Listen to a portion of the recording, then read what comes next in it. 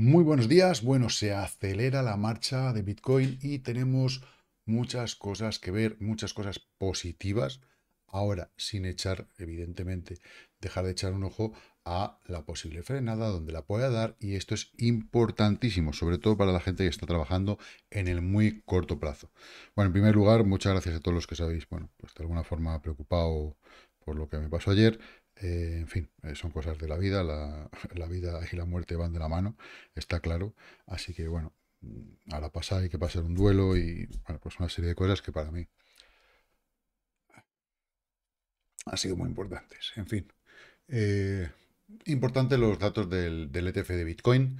en el día de ayer subieron nuevamente las compras.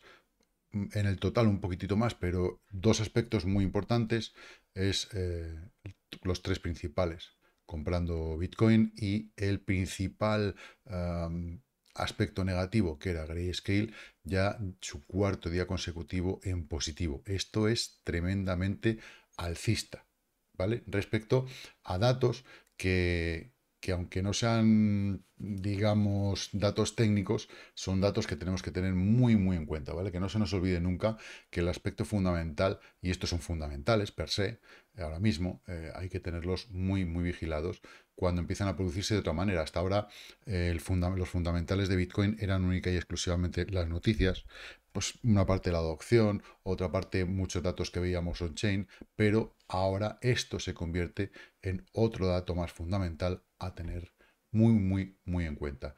Como no tengas en cuenta, estás jodido, ¿vale? Eso tenerlo en cuenta porque hay mucha gente que va de lista y, deja un poquito eso de lado, igual que deja un poquito la economía global en general y, claro, luego vienen las víctimas. Entre mis alumnos tengo unos pocos, pero gracias a Dios han superado eso. En fin, bueno, em, aquí hablan de que Bitcoin espera un cruce dorado. Eh, yo creo que ya lo teníamos más que visto, ahora lo volveremos a ver. Ah, y bueno, pues que los analistas nos dicen que el 75% de posibilidades de que se apruebe Bitcoin están ahí en el aire, están, se ha dado un poquito la vuelta y eso, pues bueno, es, realmente positivo. Por otra parte, Solana, que encabeza la velocidad de, precios a, full, está, está a tope, está muy, muy bien. Y el Arthur Hayes, fundador de, de BitMEX, nos habla un poquito de, entre las políticas monetarias globales y, bueno, muchas cosas que hay respecto a, Bitcoin, ¿no? Pues nos dice que llega el amanecer de un cripto Valhalla, que llegará en breve, es una de las cosas que él, que él llama a hacer. Y, bueno, pues eh, nos dice que al, estar la Reserva Federal vinculada políticamente, eh, bueno, pues eh, van a intentar evitar esas crisis financieras que sean Mm, inmediatas, es decir, están maquillándolo todo, lo que ya más o menos todos vemos, de tal forma que esa crisis vendrá después. Cuando venga esa crisis tan profunda, afectará evidentemente a todo, pero finalmente eh, los, todos los valores que, no sean, o que, a los cuales no les afecte de, esa manera la inflación, pues bueno, pues serán valores que se disparen y es lo que llama el, el cripto Valhalla y es donde debemos estar. Por otra parte, eh, teníamos una operación abierta en Prime XBT, de las cuales en breve os pondré el link para que podáis eh, copiar el que quiera, el que, lo desee y el que se la quiera jugar, porque aquí no es solamente para compartir beneficios, ¿vale? Y aciertos, aquí también es para compartir errores. En este caso, pues llevamos un 42% eh, en la operación, son 60 dólares, poco porque es poquito dinerito también, o sea, hay que ir a, muchos pocos, es lo que yo pretendo, ir a muchos pocos, y, y bueno, es lo que pretendo y es lo que hago. o sea, ni más ni menos. Entonces, bueno, el que quiera hacer el, el copy de todas estas operaciones que vamos sacando, eh, lo veremos. ¿Esta que voy a hacer ahora mismo? Pues lo que voy a hacer va a ser cerrarla. ¿Por qué? Pues porque ahora creo que tenemos que hacer una banderita y seguir. Y me es indiferente, lo que quiero es coger y con este dinerito volver a meterlo en otra operación. Simplemente espero. Mm, ahora vamos a ver, ahora os voy a explicar más en profundidad el por qué. Y si veis los indicadores RSI y demás, pues bueno, es evidente que, por eso la cierra. Así que delante de vosotros, 60 babetes a la saca, cerramos la posición. Aquí paz y después gloria. Esta compra que tengo aquí de 002 la voy a quitar, voy a dejarlo eh, todo en blanco hasta que decida dónde entrar. En principio, mm, si yo tuviera que decidir ahora mismo dónde entrar, pues esperaría una zona de eh, volver a tocar aproximadamente un, 1 en 69.630, un 2 en 68.606 y un 3 en la zona de los 67.500. ¿Por qué? Pues un pivote, dos pivotes, tres pivotes. Uno, dos, tres. Para mí son importantes y además coincide el tercero, evidentemente. Eh, esto es una zona bastante clara y ahora, ahora vemos por qué lo cierro, aunque el RSI puede seguir subiendo, pero bueno, prefiero cerrarlo y ya está. En cuanto a mineras, Mara hizo una, una muy buena operación ayer, ya en premercado eh, sigue al alza, algo que es totalmente lógico y normal. Eh, es posible que desde este impulso se nos vaya arriba, pero si hacemos una medición, ¿vale? Yo quiero ver, eh, vemos que estamos rompiendo la zona de 0.38, eso es bueno. Eh, la zona de 0.50, es decir, los 24.17 puede ser la zona de vuelta atrás para ir a un soporte o inclusive la zona de 26.5 con la zona con lo que es el Golden Pocket, ¿vale? Esto no, ya sabe, como, como decimos siempre, no, no subimos directos a por un, a por un objetivo. Entonces yo creo que al día de hoy seguramente iremos a los 24, pero luego nos vendremos a apoyar posiblemente aquí a este, este pivote. Vemos que tenemos máximos y mínimos que van ascendiendo. Vamos a ampliarlo para que sea mejor para los que lo veis en el móvil. Eh, ahí. Entonces tenemos un máximo, mínimo, máximo, mínimo, máximo nuevo. Tendremos que buscar después un mínimo, pero yo creo que el máximo estará rondando el 50% RSI en la zona de los 24. A partir de ahí, espero un retroceso a una, pues bueno, una línea de tendencia que tenemos más o menos en... Aquí, ¿veis? Toque, toque, toque.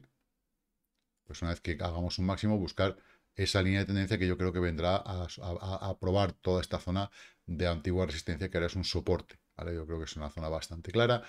Eh, así que bueno, eso en cuanto a Mara, y, esto en realidad es respecto a todo el resto de mercados, ¿eh? no, solamente, no solamente es una cuestión de Mara. Así que eh, vámonos ahora, vamos a cerrar este FIBO por aquí y nos vamos a Bitcoin.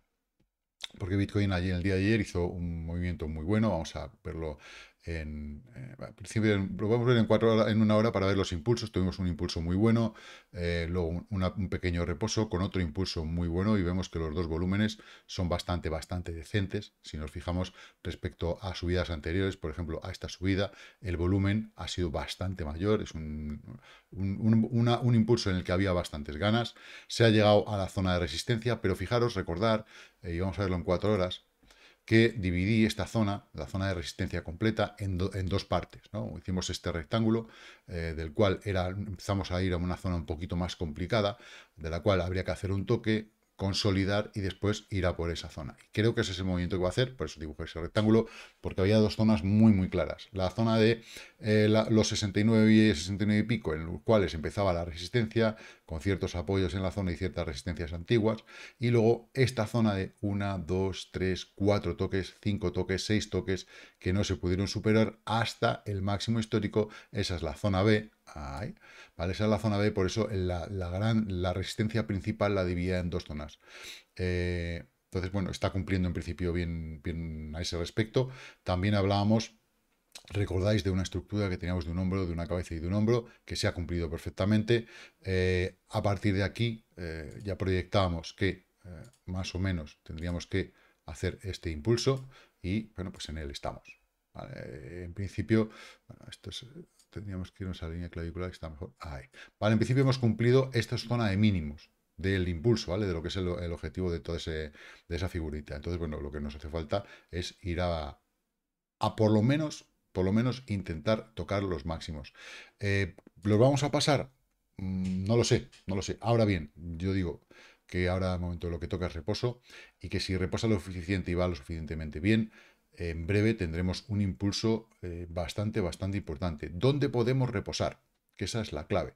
Entonces tendríamos que ver un poquito de este último impulso que tenemos en cuatro horas, que es bastante bueno, vamos a, ese máximo, ¿vale? Y desde el inicio del impulso, y tenemos unas zonas bastante claras. La primera es la de 0.24 en 70.600, el 038, 69.700, 50%, muy típico la zona de 69, y ya el Golden Pocket, que podría venir en un momento dado, por supuesto que sí, a los 68.222 aproximadamente. Entonces, tener en cuenta esos, esos potenciales puntos de, de recompra si estáis en ello, si estáis en, esa, en ese juego y simplemente, bueno, pues tenerlos muy en cuenta. Muy buenos trades, la verdad que eh, el día de ayer ha sido excelente, excelentísimo. Vamos a ampliar este canal.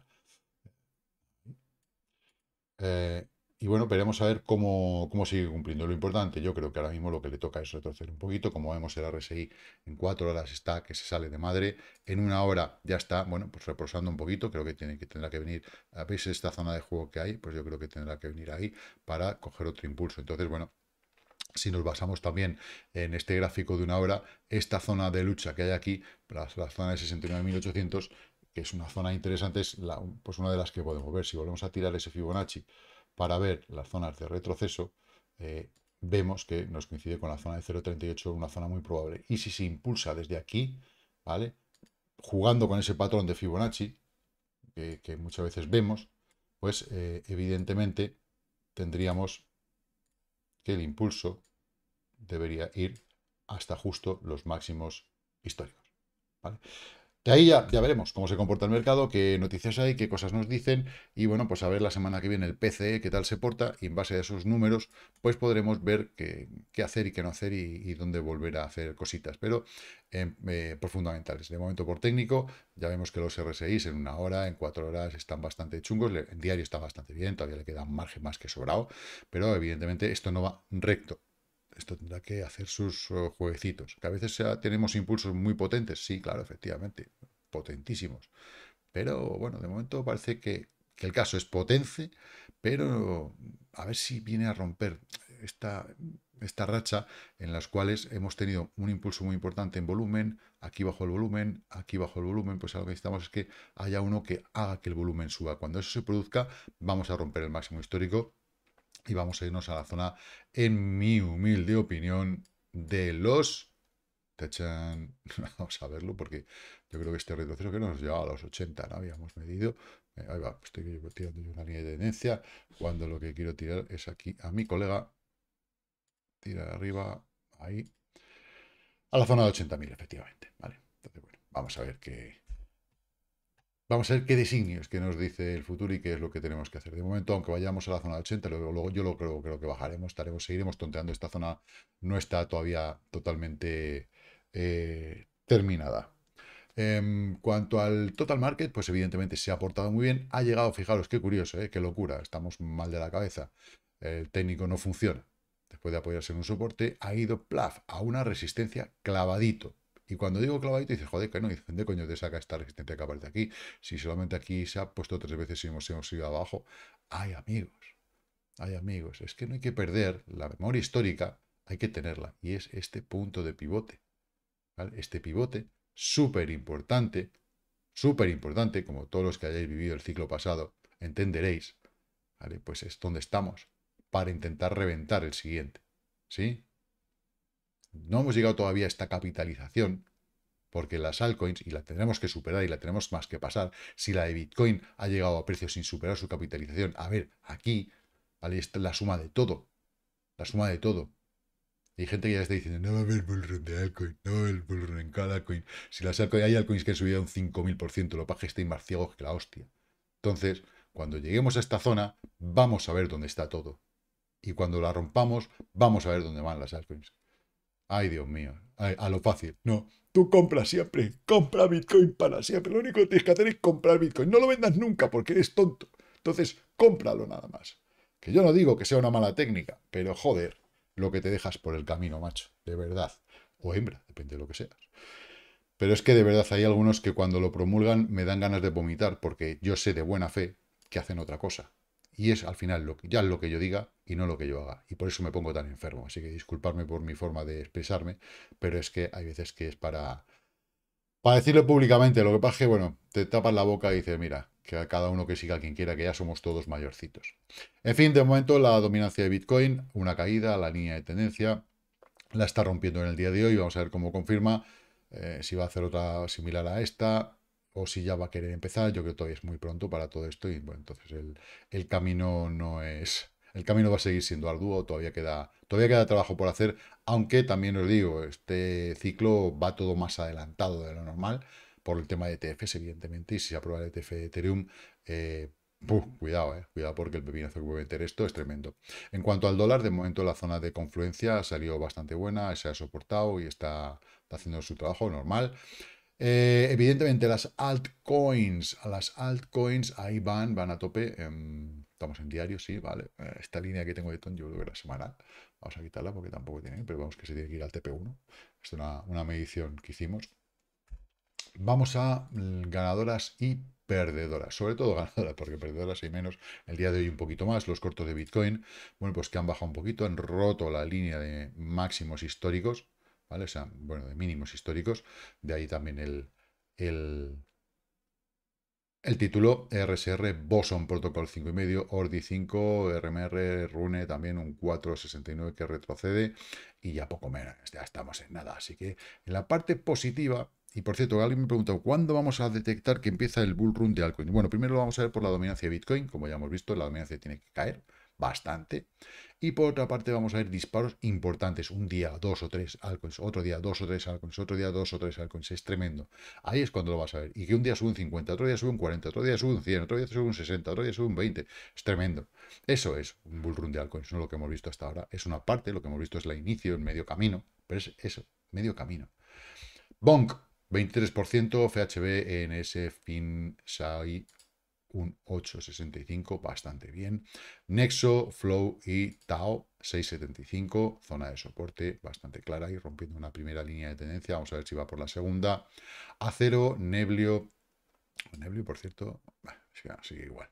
Eh, Cake, Celer, eh, CSPR, BNB contra el Euro FED, 4,78, muy muy bien. Ocean Protocol y Agix, que los juntos forman los tres mosqueteros, muy muy parecidas todas. Y bueno, pues ya estamos por debajo del 3%. Aquí tenemos a BNB, un 3,22, que lo sigue haciendo de lujo, ya ha roto la línea de, de tendencia que tenía pendiente dentro de ese triángulo. Cuidado, porque en cuanto rompa la zona de los 640, volare, volare, volare. Así que ahí está, todo lo que daba se daba por muerto, sigue muy, muy, muy, muy, muy vivo. Así que muy atentos porque promete, la cosa promete. ¿Promete para cuándo? Pues mi humilde opinión, hasta que no pasemos el verano, mucho meter, mucho prometer hasta meter. Lo típico, ¿no? Así que bueno, en fin, chicos, chicas, no me rollo más. Terminamos con Bitcoin, como siempre, en el muy corto espacio de tiempo. Vemos que ya estamos haciendo un retroceso de diario decente, cuatro horas, bueno, cayendo, y en una hora, pues a ver si se termina de retroceder y se nos va al menos en la zona de los 70.000. Así que chicos, chicas, lo que digo siempre, invertir con mucha cautela, guardar liquidez y que la paciencia os acompañe. Chao, chao.